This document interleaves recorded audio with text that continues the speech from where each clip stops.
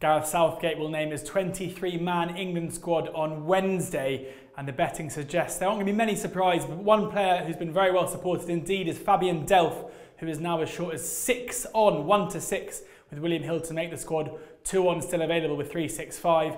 Another player who's been very well supported is Jack Wilshere, another centre midfielder who is 4 to 11 best price to make the squad.